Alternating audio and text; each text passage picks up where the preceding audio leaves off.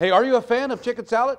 How about getting free chicken salads for a year? Woo! A Southern staple is opening its northernmost restaurant right here in Chesterfield. It will be the first chicken salad chick location in Missouri. Mm. They serve a new twist on chicken salad, by the way. Now, to get the free chicken salad for a year, you have to be one of the first 10 guests at the store. Whoa. So get there early when it opens this morning.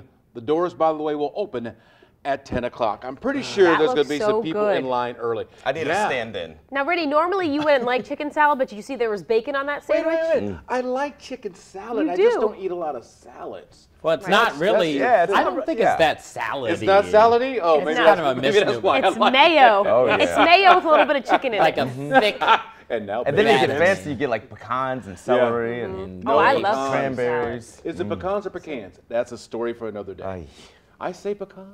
Ronaldo.